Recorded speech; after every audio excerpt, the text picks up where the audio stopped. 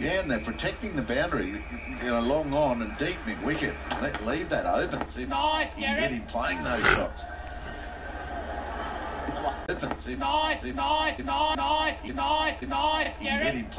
That I'm at an all time.